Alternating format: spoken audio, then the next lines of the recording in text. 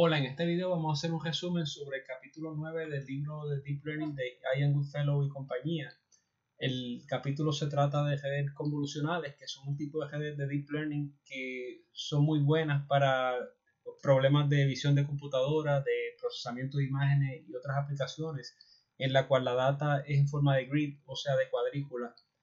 En las referencias están los detalles del libro y este, este, libro es un libro que se mantiene fiel a la teoría, no presenta implementaciones casi o si hace pseudocódigos a lo más, pero no presenta tampoco APIs eh, de cómo usar Deep Learning. Para eso les recomiendo eh, la documentación del Deep Learning Toolbox de MATLAB, que está en las referencias de este video, y también el libro de Python eh, para Deep Learning, que también está en las referencias. Las redes convolucionales también son conocidas como redes neuronales eh, convolucionales o por sus siglas en inglés CNN, CNS eh, Convolutional Neural Networks. Eh.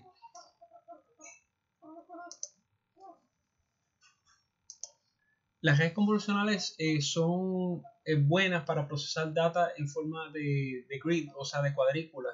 Esto incluye eh, matrices para imágenes o tensores. Tensores son arreglos que tienen eh, tres o más dimensiones. Esto incluye imágenes de colores que tienen XY, Z, XY y color como la tercera dimensión. O videos eh, que pues ahí ya serían la cuarta dimensión con el tiempo. Y también incluye imágenes volumétricas como para de un MRI, un CT scan, cosas así.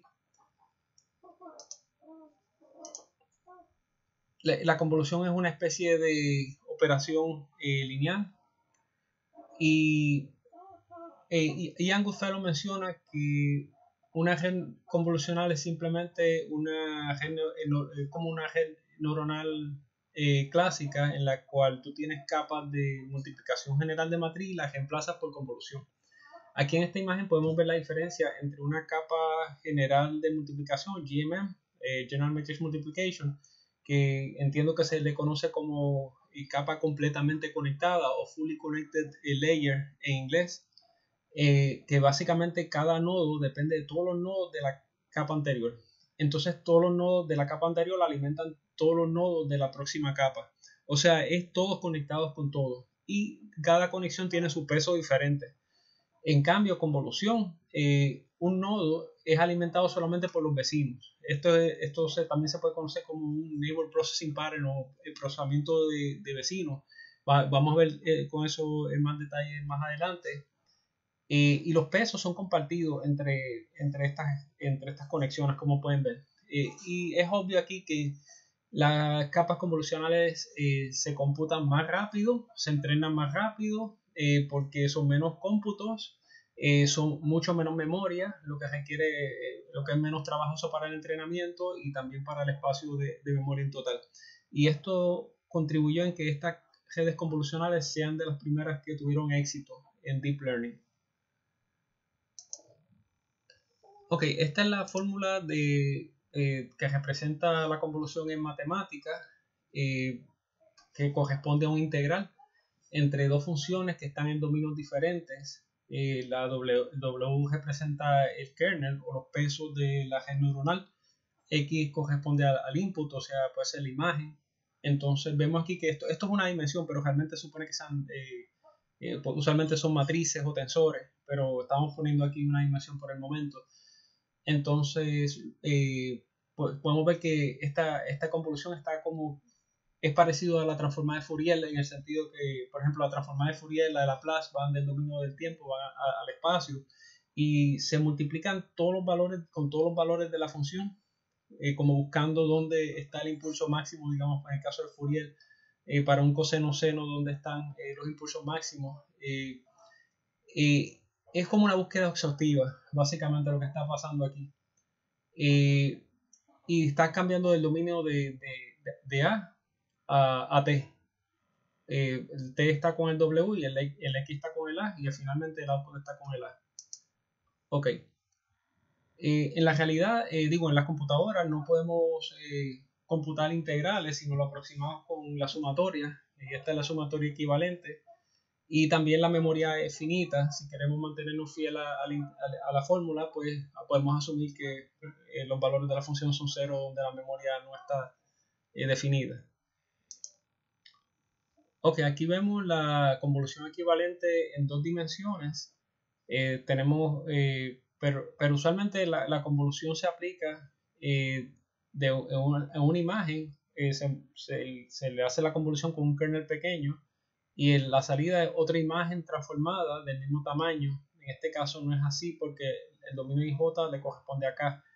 Pero como la eh, convolución es conmutativa, pues se cambia el orden y, tenemos la fórmula de abajo. Y pues el IJ que corresponde ahí también corresponde a la salida, que es lo que esperamos. Eh, entonces ahora eh, el MN corresponde al dominio del kernel, que es más pequeño, un dominio más pequeño, y y también este, este doble sumatorio es un nested for, son dos forms en programación. Ok, pero eso no es suficiente. La fórmula anterior que vimos no es la, la fórmula final de convolución. Usualmente en la, práctica vemos la convolución de esta manera. Noten que la convolución, el orden de iteración se pone en reversa. Eh, una va en una dirección, otra va en otra. Pero así no lo vemos en la práctica. Eh, y esta función se llama cross correlation, eh, que no es lo mismo con convolución, porque el orden es, eh, van en la misma dirección, pero como quiera le llaman convolución. Y esta, esta es la función que realmente vemos. Ok, aquí está una representación gráfica de la convolución. La convolución es una, una un patrón de procesamiento de vecinos o un stencil pattern donde se desliza, donde los valores de la salida, del elemento de salida, depende de los valores de entrada y, y los vecinos. Hay, eh, eh, funciones, hay una función en MATLAB que se llama GPU Coder Stencil Kernel que está hecha específicamente para este tipo de computación y sirve para paralelizar eh, y hacer más eficiente el cómputo especialmente eh, bueno, se, puede, se puede usar para hacer más eficiente el cómputo de una red convolucional en Deep Learning. Eh, vea las referencias para más detalles sobre esto. Eh, entonces, eh, vamos a hacer el ejemplo con esta ventana. Este es un ejemplo hipotético. una imagen jamás nunca va a tener tres filas y cuatro columnas. Entonces, el kernel, esto es un mal ejemplo en el sentido de que el kernel es 2x2. Usualmente el kernel es 3x3 entonces es más fácil de visualizar cuando, tienes, cuando el número de dimensiones del kernel es impar, porque el centro es fácil determinar el centro. Aquí como que el centro, pues tienes que poner que es la esquina de arriba o algo así. Eh, ok, pues bien. Eh, entonces, esta ventana se pasa por toda la imagen y se multiplica las dos submatrices, esta matriz por esta submatriz, elemento por elemento y se, hace una reducción, es como una operación de reducción donde se multiplican los elementos y se suman para tener el píxel de salida de entrada. Estamos en este píxel, pues esto corresponde a este píxel. Después se desliza la ventana aquí, se multiplica por todo elemento y esto da el valor de este píxel. Esto es un escalar aquí, todos estos son escalares. Entonces después se pasa aquí y tiene este elemento aquí. Pueden ver acá que A por W, para esta, esta de aquí, A por W, A por W, B por X, B por X, E por Y, E por Y, F por Z, F por Z se desliza. Después tenemos B por W, B por W, se desliza de nuevo, C por W, C por W, se va entonces para abajo. E por W, E por W, se va para acá, F por W, F W, y por último GW, eh, LZ, y, pero ven que la ventana no se puede deslizar más allá de los límites, porque no tenemos padding. Vamos a hablar más adelante de eso. debido a que no se puede ir a través del límite, pues entonces el tamaño de la imagen de salida pierde el borde. Entonces en vez de ser tres filas y tres, eh, tres filas y cuatro columnas, va a ser dos filas y tres columnas.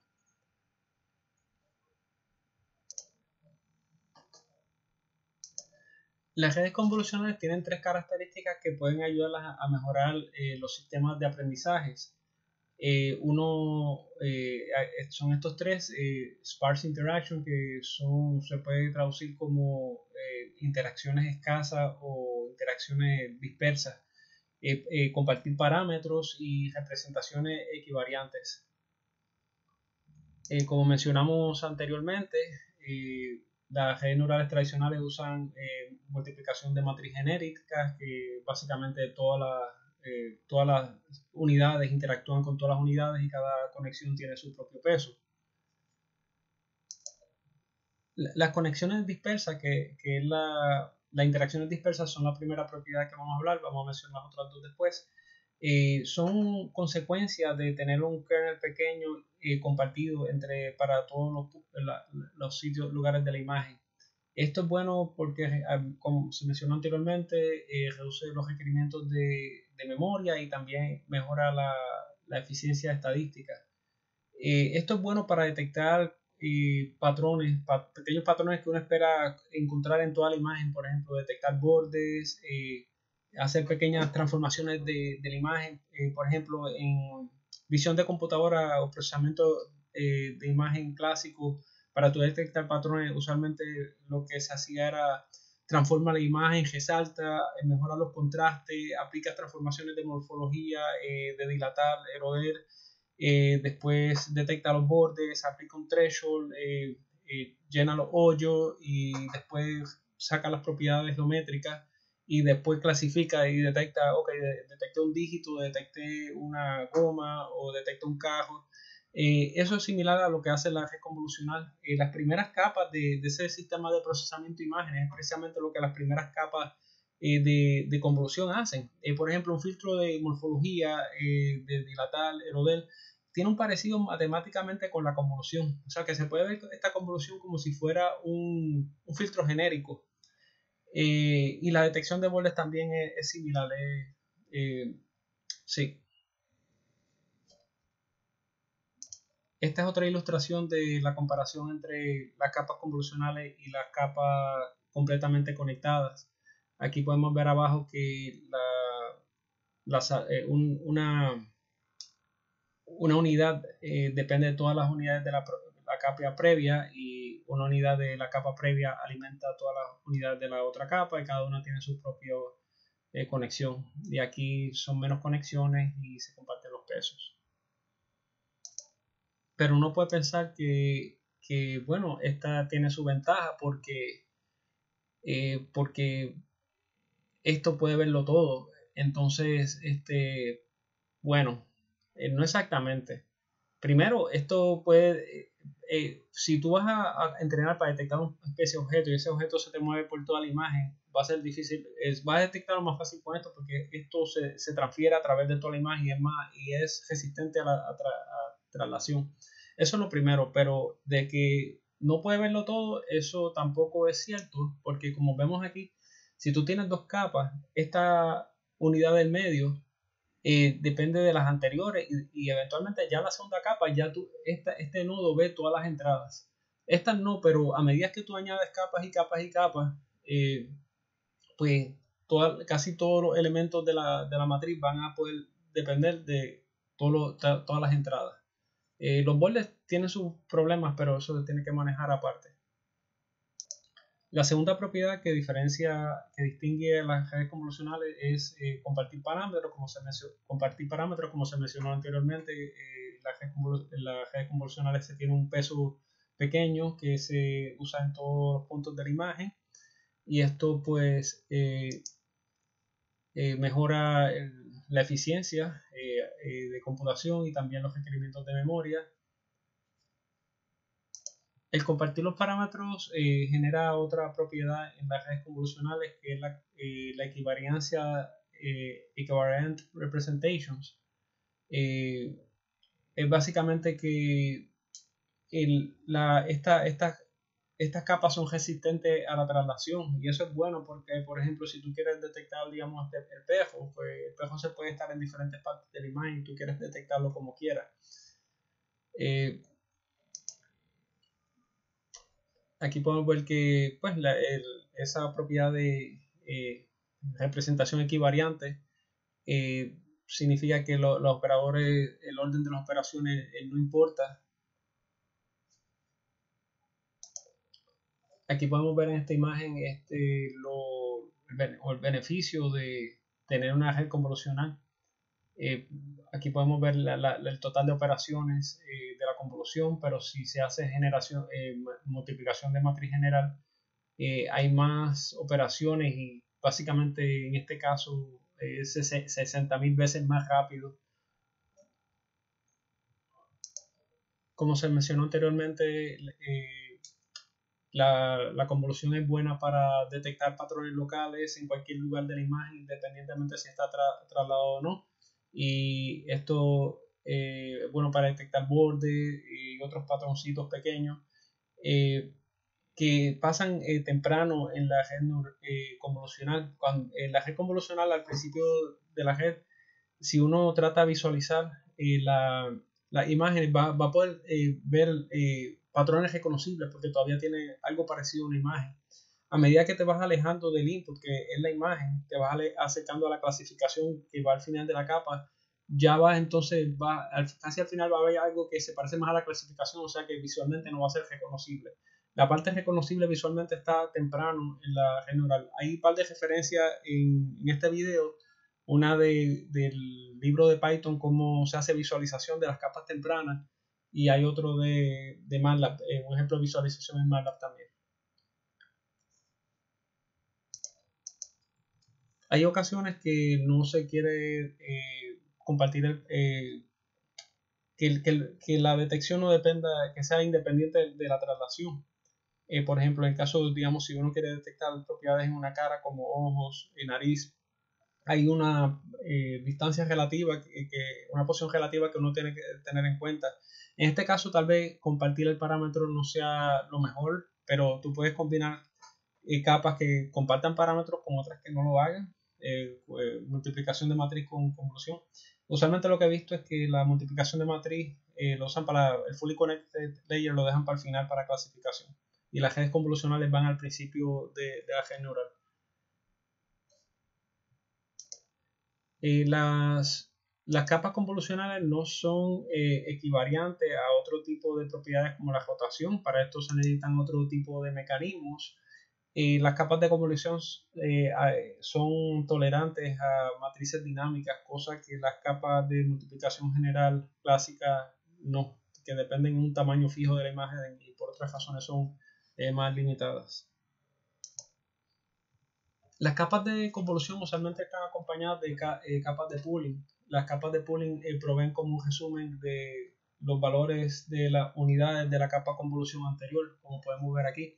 Una capa de convolución alimenta una de rectifier linear unit, que es la, de, la capa de detección, y después alimenta el pooling. Pero esto es secuencial, bueno, las capas son secuenciales en este caso, pero este agarra valores de varias unidades de las capas anteriores y usualmente sacan el, máximo. Eh, se puede ver la capa por convolución como una capa eh, eh, de que saca propiedades locales a través de toda la imagen. Entonces la de pooling es como trata de detectar patrones entre patrones. Es como sirve más para detectar patrones globales. por ejemplo, si uno va al MATLAB Deep Learning Toolbox y, y, usa el GoogleNet o el SqueezeNet o otros tipos de capas convolucionales, redes convolucionales, eh, va a ver que las capas de convolución están alternadas con ReLU, pooling, a veces usan normalización, pero este trío casi siempre viene junto, al punto que eh, en esta imagen se muestra que lo puedes considerar la capa de convolución como el trío de ellos, o las puedes considerar por separada. Eh, la función de pooling puede usualmente el máximo, el máximo de los valores de las unidades de la capa anterior, eh, al igual que la convolución, no se conecta a todas las unidades, son algunas unidades nada más. Es como una, un, es un procesamiento de ventana también, no es exhaustivo como el General Matrix Multiplication. También puedo usar en vez del máximo, puedo usar el promedio o otras opciones. Una propiedad del pooling es que es insensitivo a pequeños cambios. Eh, vamos a ver una ilustración luego, a pequeños cambios de traslación. Vamos a ver una ilustración luego de esto la, propiedad de eh, equivarianza en pequeñas eh, traslaciones del input eh, puede ser útil para visión de computadora. Aquí vemos una ilustración de eso. Y, también eso puede mejorar la, eficiencia estadística. esto esto de, la equivalencia de, cambios pequeños del input puede ser visto como un strong prior, eh, un strong prior infinito, vamos a hablar más detalles sobre eso después, que el prior es como un concepto de una asunción, como una asunción de, comportamiento que la red neural debe seguir, que si la asunción se cumple, pues es efectivo, si no, pues no va a predecir bien los resultados.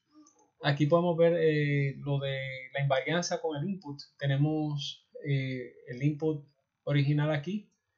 Entonces, este, el, el, max pooling va a coger el máximo de sus vecinos. En este caso el máximo es 1 y aquí el máximo es 1 también, aquí el máximo es 0.2. Entonces vamos a mover los inputs una unidad a la derecha, que es una pequeña variación. Este va para acá, este va para acá y este va para acá. Ahora, el máximo de esto es 1. El máximo de esto es 1. El máximo de esta ahora se vuelve 1. Ok, lo de los bordes siempre tienen problemas, pero lo del medio, si se fijan, eh, se preservaron igual. O sea que la salida fue invariante a un pequeño cambio en traslación en el input. Esa es la propiedad que trata de decir. En visión de computadora es importante que cuando uno va a detectar un objeto, que uno lo detecte en cualquier ángulo, en cualquier eh, eh, que lo detecte independientemente si se mueve de posición o si cambia de tamaño. Esto se conoce como affine, affine transformations, eh, transformaciones como de rotación, traslación, scaling. Y las tres se pueden expresar en una misma matriz. es tan importante que cuando tú vas a entrar a una red convolucional, tienes que, la data, tienes que hacer este tipo de transformaciones, no solo para aumentar la cantidad de data que tienes, sino para hacer la red resistente a esto.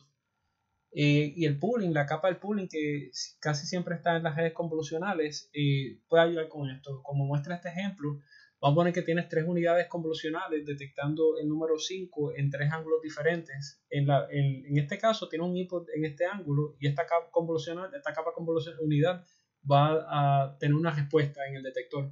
Entonces sacas el máximo y el máximo te va a dar 1, se va a activar. En este caso tiene otro ángulo, esta no se activa, esta no se activa, pero esta sí se activa. Sacas el máximo y tiene 1, el mismo resultado. O sea que independientemente de qué ángulo recibes, te va a dar 1.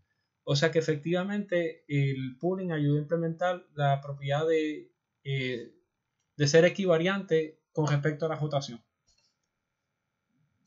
Para ver un, para ver un ejemplo de cómo se hace el aumento de data con rotación, traslación y, aumento de tamaño o reducción de tamaño, miren las referencias de este video donde se usa el MATLAB Deep Learning Toolbox con las herramientas, las herramientas de Data Stores para hacer este tipo de, entrenamiento en redes convolucionales. Aquí podemos ver que el pooling eh, se computa en base a los vecinos. Eh, en este caso, eh, este, vamos a poner que el caso del máximo coge el máximo de estos dos y el próximo eh, va a coger también compartir los mismos vecinos eh, porque tiene un brinco de uno, va de uno en uno. En este caso el width, el ancho de, del pooling es 3 porque va a coger tres vecinos, pero el stride, el brinco es de uno, va, va uno, coge los tres vecinos, va al otro, coge tres vecinos. Eh, comparten bastantes vecinos, y, pero hay una manera también de tal reducir la redundancia, eh, es aumentando el strike, como vamos a ver en este ejemplo aquí. Aquí el width sigue siendo 3 porque el pooling está poniendo el máximo de 3 vecinos, pero tiene un brinco de, de 2. O sea, hay menos computaciones y menos memoria. Esto puede hacer eh, reducir los requerimientos de memoria de computación eh, pero también tiene el efecto de que va a reducir, reducirte la imagen eh, dependiendo del stride. Entre más grande sea el stride, más reduce la imagen. Igual que también pasa con convolución. Entre más grande sea el kernel de convolución, eh, más te reduce la imagen si no haces padding. Entonces, pero sí, vamos a ver cómo funciona el padding más tarde. Pero anyway, el pooling te va a reducir el, el tamaño si tiene un stride mayor que uno. En este caso, pues tenemos una imagen hipotética que es lineal tenemos 6 elementos y la salida va a ser de 3 elementos. Efectivamente, el strike de 2 dividió entre 2 la, la, imagen de salida. Y esto es lo, que usualmente pasa en las capas convolucionales. Cuando cada vez que tú pasas por una capa de pooling, el tamaño de la imagen se va a reducir en 2. Digo, depende del strike, pero siempre tienden a reducir el tamaño de la imagen. Estos son tres ejemplos de redes convolucionales. Eh, las tres son secuenciales eh, eh, usualmente son mucho más grandes y tienen branching también, como vamos a ver más tarde. Eh, pero, pero estos tienen los componentes básicos de una red convolucional. ok, so, las tres cogen una imagen de 256 por 256 por 3, donde el 3 debe ser el color red, green, blue, rojo, verde y azul. Entonces vas a una imagen de a una capa de convolución que deja el tamaño igual, pero cambia los canales por los features. Como la convolución aplica las primeras dos dimensiones, pero cambia la última por otro, otro que corresponde a la dimensión de, los, de, los, de los features, o sea, de las propiedades que está detectando. Después le aplicas el pooling, que el pooling con un, brinco de 4, un stride de 4 va a dividir la imagen entre 4 entonces después le aplica la capa de detección con el Rectifier Linear Unit y después sigues con el pooling, eh, sigues bajando. Ya aquí tiene, eh, en la realidad los features van aumentando. Mientras la imagen, aquí ya está en 16 por 16, mientras la imagen siga reduciendo, los features van aumentando. Y eventualmente para hacer la clasificación, eh, ya no necesitas la imagen la, la plana, aplana el tensor o la matriz en un vector. Y entonces ahí le aplica la capa General Matrix Multiplication, la, multiplicación general de matriz o el capa fully connected, connected layer eh, y entonces después finalmente el softmax para hacer la clasificación. Eh, esta es más o menos igual, solo que hace el poly un poquito diferente y esta de acá lo que muestra es que no necesitas el GMM, la eh, capa completamente conectada, no necesitas al final y tampoco necesitas la plana de la matriz, sino que la plana con, con pura convolución hasta hacerla uno por uno y al fin y al cabo clasifica. El autor propone ver la convolución y el pooling como eh, priors infinitamente fuertes. El concepto de prior se puede ver como una asunción que tú impones en el modelo, que básicamente codifica la, creencia que tú tienes sobre el comportamiento del modelo. Eh, es como en, el caso de convolución, la creencia es básicamente que, los, que los cambios, la convolución es equivariante en traslación que ese es el caso de lo que uno espera en un, problema de procesamiento de imágenes eh, o de computer vision en las primeras capas. Eh, también que las propiedades son locales, que tú puedes detectar la misma propiedad local en cualquier parte de la imagen. Eso un prior.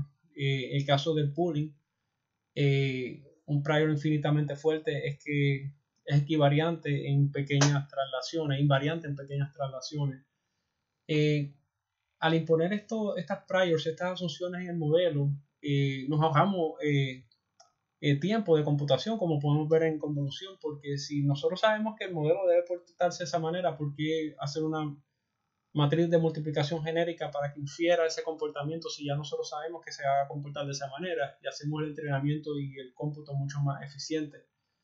entonces también menciona los conceptos del prior débil, el prior fuerte eh, un prior eh, que, por ejemplo, en caso de una distribución, distribución gaussiana que tiene alta varianza, variancia, eh, pues va a ser más flexible, los parámetros se pueden entrenar mejor. Si, es una, si el prior es una distribución gaussiana con poca varianza, pues entonces es más steady, más más, más firme, entonces los parámetros para entrenamiento tienen eh, menos flexibilidad. Y entonces en el caso de convolución se le llama infinitamente fuerte porque son asunciones bien rígidas. Pero como siempre, este, esta, los priors son efectivos, te ayudan a hacer más, eh, computación más eficiente si las asunciones son correctas. Si las asunciones no son correctas, va a ser underfeeding. En otras palabras, eh, tu red neural no va a generalizar bien, no va a predecir bien. Como mencioné en el slide anterior, eh, si la asunción del prior no se cumple, va a haber underfitting, o sea que no va a ser, no va a predecir bien el, resultado de la red neural. Eh, hay casos de que la asunción se cumple en algunos canales, en algunas dimensiones, pero no en otras dimensiones. Pues entonces hay que aplicar solamente el pooling y el convolution, la convolución y el pooling en los canales donde se cumple la asunción, pero no en los otros canales, no en las otras dimensiones. Anteriormente eh, hablamos de, se mencionó dos ejemplos extremos de capas, la capa de matriz multiplicación general, que es capa completamente conectada, donde un nodo en una capa de, eh, donde todos los nodos dependen de todos los nodos, está todo conectado y cada conexión tiene su propio peso. En el otro extremo está la capa convolucional donde un nodo está conectado solamente con los vecinos y esas conexiones de vecinos es compartida con todas las conexiones de vecinos en cada, en cada convolución. pero hay puntos intermedios. Por ejemplo, esta fórmula aquí, podemos ver que eh, usualmente en la convolución normal tú tienes que el kernel es m por n, pero aquí eh, varía dependiendo la, el, el, elemento de esta dimensión de la salida y esta dimensión de la entrada. O sea que para cada combinación de esta dimensión de la entrada y esta combinación de salida, tú vas a tener un kernel diferente. Eh, bueno, eh, hay para la convolución normal eh, hay casos donde tú quieres detectar cosas como bordes que quieres detectarlos en toda la imagen, pero hay, hay casos, digamos, que te importa la posición relativa, como el caso de los ojos, la nariz, donde ahí tal vez tú no quieres que el kernel sea igual para todas las conexiones. Otra variación de la convolución es eh, aplicar strides o brincos en los inputs, o sea, básicamente no procesarlos todos. Aquí en una convolución normal estamos procesándolos todos. Este va con estos dos, vamos para el próximo, procesa estos tres, vamos para el próximo, estos tres. Pero aquí tiene un stride, un brinco de dos. Entonces, ok, procesa estos dos, brinca dos. Ok, entonces procesa estas tres, eh, brinca dos más. Entonces procesa estos de acá. Eh, pero eh, el efecto de esto es que va a reducir el tamaño de, de, la imagen. Ven aquí el brinco está en la imagen de entrada, no en el kernel. Multiplica las dimensiones para que vaya brincando este, así. sí, este tiene el problema de que la imagen se va a reducir el tamaño. Tal vez en algunas ocasiones esto sea útil, pero entiendo que para eso está el pooling. En un slide anterior vimos que cuando hacemos la operación de ventana en convolución, solamente puede iterar a través de los valores válidos si no hay padding. Entonces, al hacer eso, pues pierde el borde.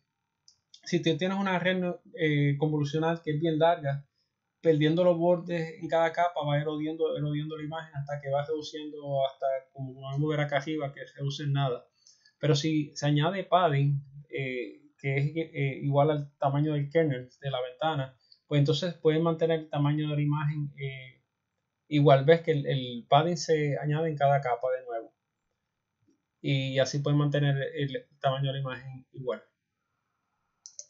El autor muestra eh, tres opciones para padding, valid, same y full, válido, mismo y completo, que esto coincide con la misma notación que usa la función de GPU Coder Stencil Kernel del MATLAB GPU Coder Toolbox.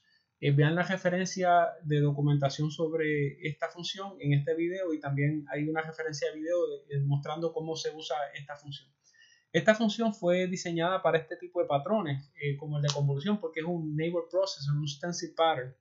Y lo bueno es que a diferencia de una implementación eh, ingenua, de la convolución donde uno puede hacer un nested for loop o dos for loops uno encima de otro. Si lo hace de esa manera, uno está especificando el orden en que las computaciones pasan a la misma vez, a la misma vez que especifica la computación.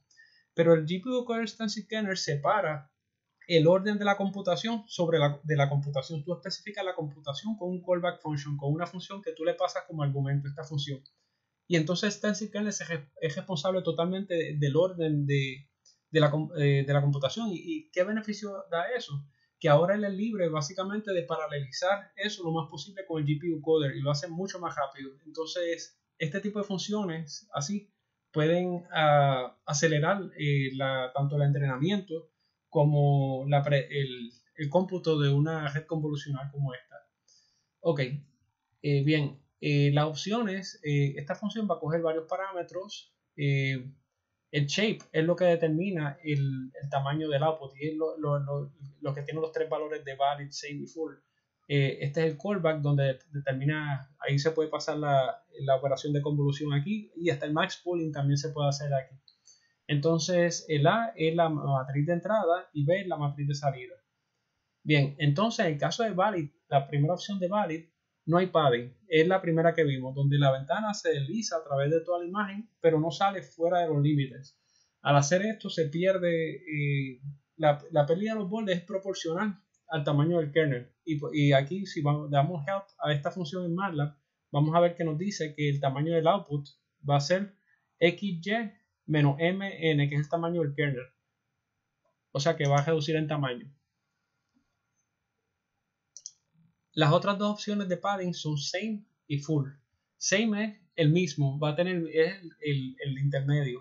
Eh, va, el, la, la, entrada tiene el mismo tamaño de la salida y eso lo podemos ver aquí en la documentación del stencil kernel. Entonces se hace padding en los bordes suficientemente para que, para que sea el mismo tamaño de salida. Pero entonces el autor dice que los bordes son, los píxeles en los bordes son subrepresentados en el modelo. Y eso es lo que motiva a la opción de full. La opción de full va a ser añadir padding del tamaño del kernel en la, en la salida. Aquí podemos ver en la documentación de que el tamaño va a ser X más B. En vez de menos B, va a ser más B más M y más N. O sea que aumenta el tamaño. Pero en la práctica se ha encontrado que el value design, eh, las opciones value design son mejores para convolución y la de full parece que no es muy buena. Otra variación de la convolución es, eh, como mencionamos anteriormente, eh, que el peso de la convolución sea diferente para cada conexión, pero el caso que mencionamos era en una sola dimensión, en un solo canal. Aquí en esta fórmula todas las dimensiones están variando, o sea que para cada combinación de LJK en la entrada, LJK y IJK, IJK y MN, bueno, va a tener una matriz de MN para todas esas combinaciones de dimensiones. O sea, en otras palabras está diciendo que todas las conexiones van a tener un peso diferente. A, B, C, D, E, F, G, H, I. A diferencia de la convolución normal donde A, B, A, B, A, B, siempre es la misma matriz aquí.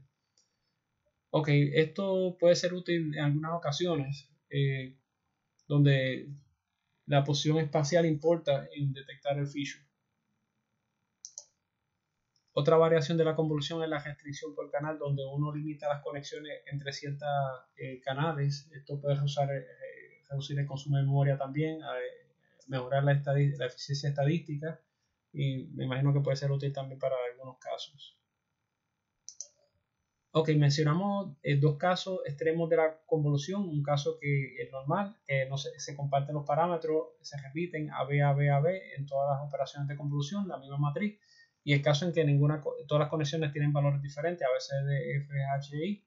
Y está el caso intermedio, que es el Type Convolution, eh, que básicamente usa el módulo en la dimensión para que cada cierto ciclo se repita el mismo patrón. Aquí podemos ver A, B, C, D, A, B, C, D, se repite.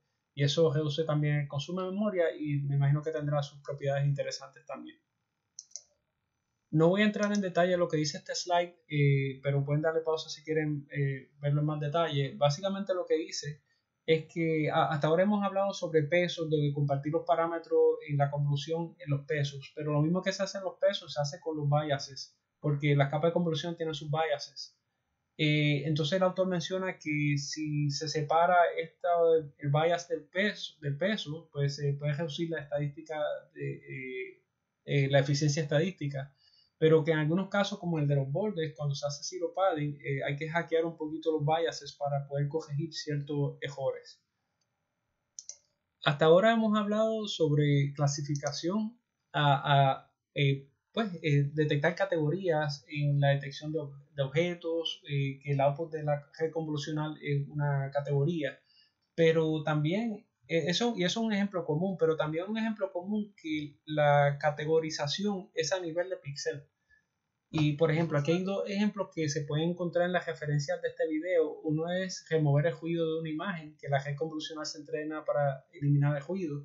Y otro es segmentación, donde cada píxel tiene una categoría. Es como una clasificación a nivel de píxel. Por ejemplo, en este caso, esto corresponde a la categoría de, edificio, esto a peatón, cajetera, árbol, cielo.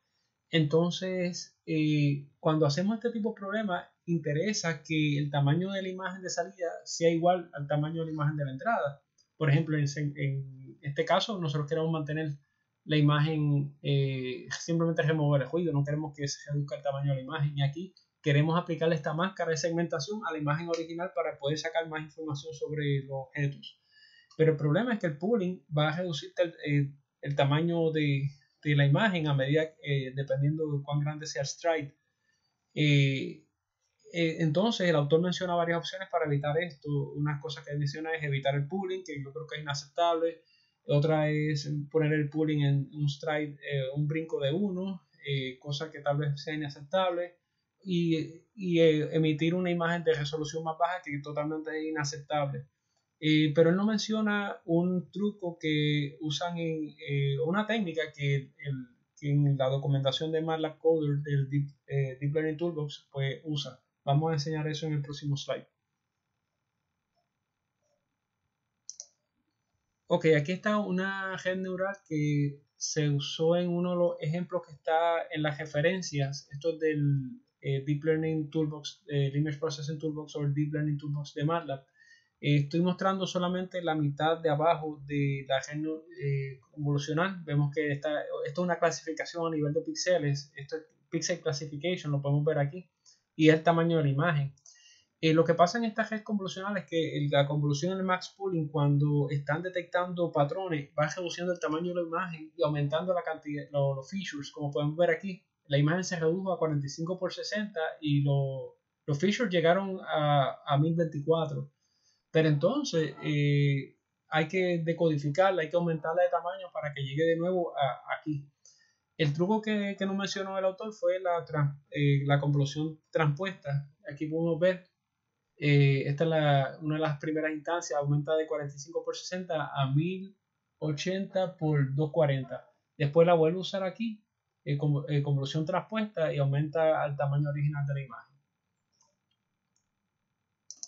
El autor muestra varios ejemplos de, de arreglos que uno espera en una red convolucional. Como se mencionó, las redes convolucionales son buenas para data que en forma de grid, o sea, en forma de cuadrícula, o sea, básicamente son arreglos que, no, que son continuos, que no son sparse, que no son dispersos, que son continuos.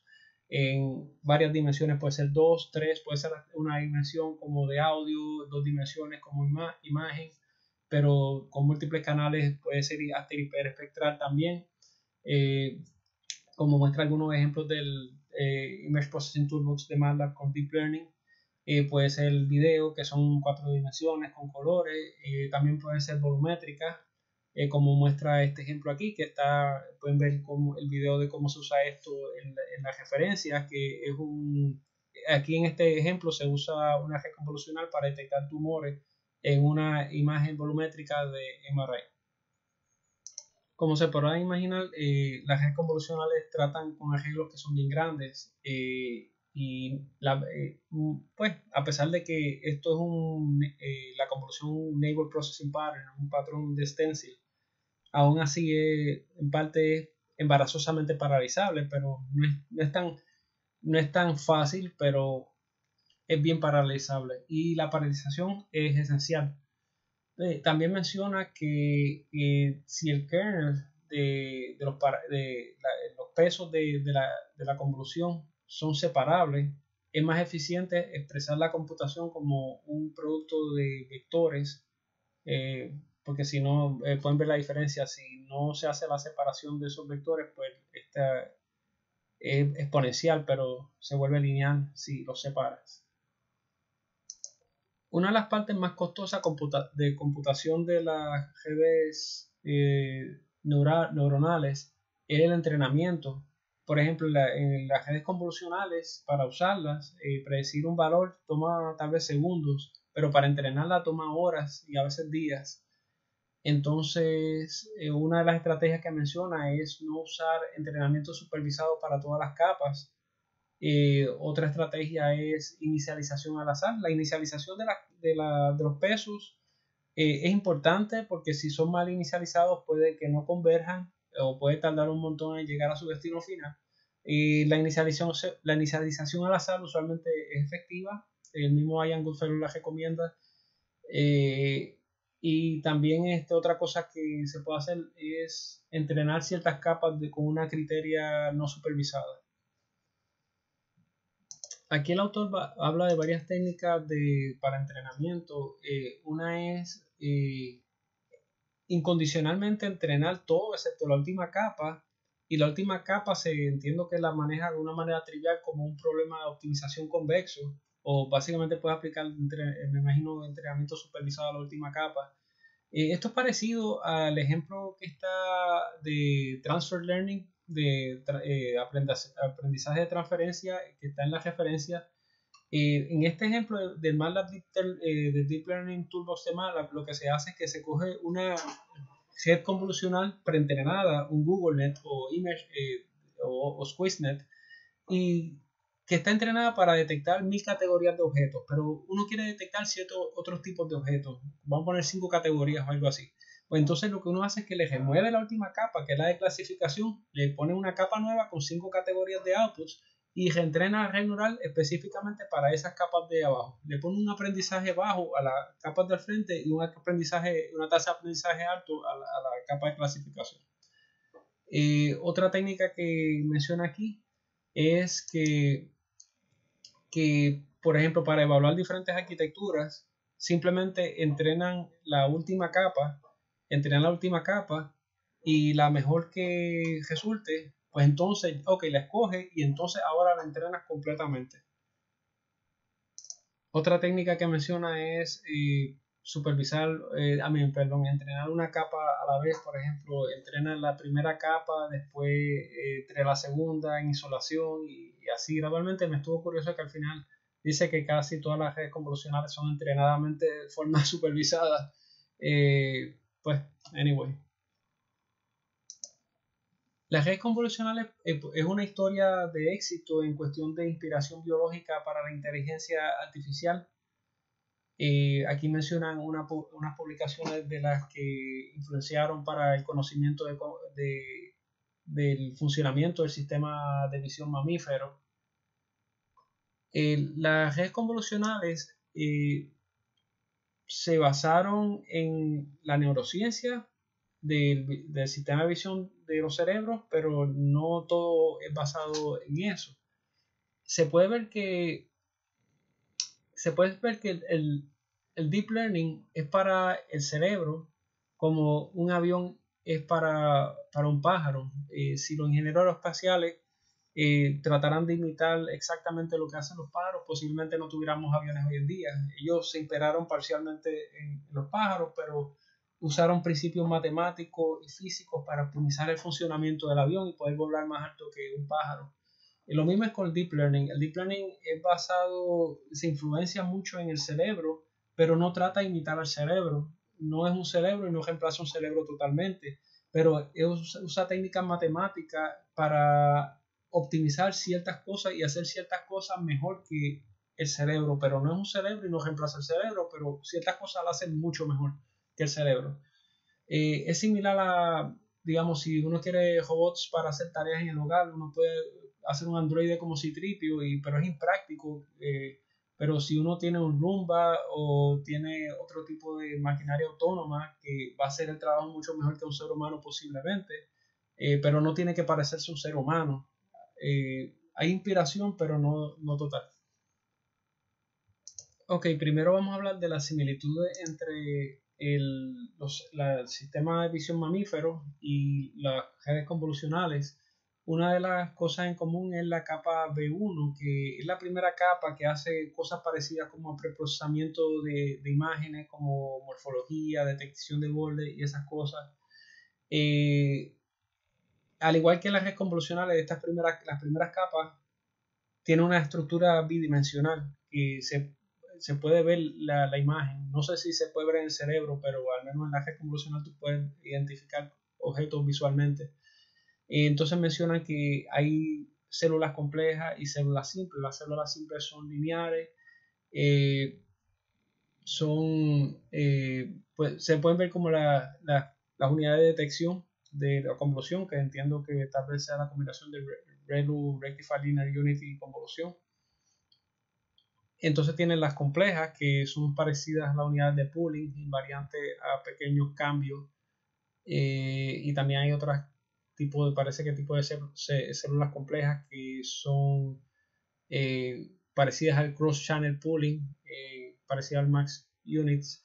También menciona los grand mother cells que entiendo que son eh, capas de como clasificación que ya están al final para que son tolerantes a transformaciones de rotación, traslación y distorsiones y también eh, menciona que se encontró, se ha encontrado en estudio eh, una neurona que le llaman Halle neuron, que en el, experimento que hicieron, eh, básicamente esta neurona se activaba solamente cuando le ponían una imagen de Halle Berry o el texto. O sea que una neurona que identifica un individuo tanto por imagen eh, como por texto o por otras cosas. También menciona que esta capa de, se le llaman info, inferotemporal cortex IT, es la eh, que está al final de, la cadena. Aquí podemos ver la cadena que V1 va de la retina al LGN, al V1, V2, V4 y T, que todas estas capas en, en 100 milisegundos este, de ver objetos ya la información pasa por todas ellas. Eh, también menciona que, que pues, el cerebro se queda mirando una imagen, se va entrenando mientras va eh, haciendo como parecido al backward, como el backpropagation en entrenamiento, se va entrenando el cerebro. Ok, ahora vamos a la diferencia entre el sistema mamífero de visión y las redes convolucionales. Eh, uno es que el ojo humano es de bien baja resolución, pero tiene un mecanismo de enfoque que da la, la impresión de que hay alta resolución. El, el, sistema de visión está integrado a otros sentidos, o sea que está integrado con el auditivo y está conectado a, a los sentimientos y pensamientos. El sistema visual humano eh, también este, hace más que detectar objetos, eh, como que entiende escenas completas, relaciones entre objetos, eh, saca información eh, 3D geométrica para poder moverse en el ambiente, aunque las redes convolucionales se están poniendo mejor en este aspecto. Eh, también menciona que las capas eh, están interconectadas entre sí, altos niveles con bajos niveles, pero también eso lo podemos ver en las redes convolucionales donde hay branching. Acabamos de ver una horita que una capa de las primeras está conectada con las últimas. Eh, y también la, el cerebro puede tener eh, activaciones y funciones bien diferentes a las que de las redes convolucionales, eh, como es las células simples y complejas que acabamos de describir. Parece que la neurociencia ha influenciado a las redes convolucionales en la parte de predecir, pero no, no dice nada, no, parece que no ayuda en la parte de entrenamiento. Eh, para los entrenamientos, estas fueron las publicaciones en 1988 que influenció bastante las redes convolucionales. Eh, lo probaron para una dimensión y se extendió para dos dimensiones, eh, que se aplicó a imágenes. Okay, vamos a hablar sobre las células simples. Las células simples son lineares, mientras las complejas son no lineares. Se, se, alternan entre las dos, que pues, es como jugar entre la selectividad y la invarianza. Y menciona que las células simples y complejas pueden ser las mismas células, pero con diferentes configuraciones.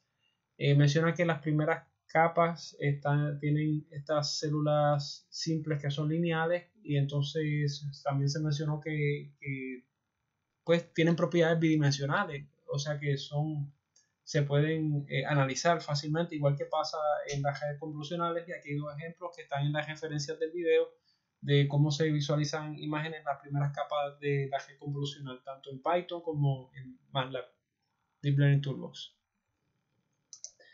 En uno de los estudios, eh, bueno, tal vez en muchos estudios se le pone electrodos para medir los impulsos de, de las neuronas de, de, los ratoncitos para hacer estos estudios de, del sistema de visión de los mamíferos, lo que a mí me parece un cruel maltrato animal eh, pero pues básicamente ha encontrado que estas células simples eh, que procesan eh, data, como podemos ver aquí, esta, se asemejan a, a, las funciones de Gabor.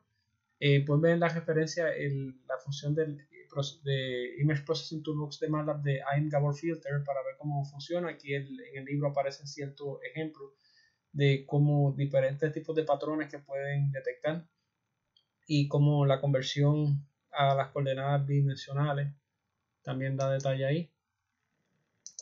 Ok, y para concluir, eh, las redes convolucionales eh, han sido un ejemplo de éxito de, de, inspiración biológica para inteligencia artificial, como ya se mencionó.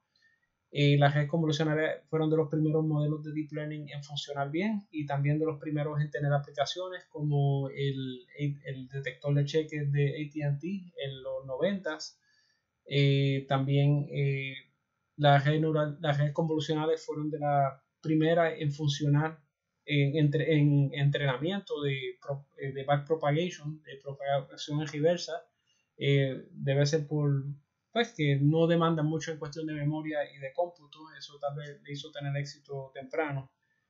Eh, eh, eh, como se mencionó al principio, las redes convolucionales son buenas para problemas que tienen forma de grid, forma de cuadrícula, o sea, básicamente arreglos continuos, contiguos, como arreglos como vectores, en particular matrices y tensores de tres o más dimensiones, eh, para, también menciona que para, para procesamiento de texto eh, de una dimensión, como por ejemplo procesamiento natural del lenguaje, Natural Language Processing, las redes eh, neurales recurrentes son más efectivas y eso lo habla el libro en el capítulo siguiente. Muchas gracias por su atención.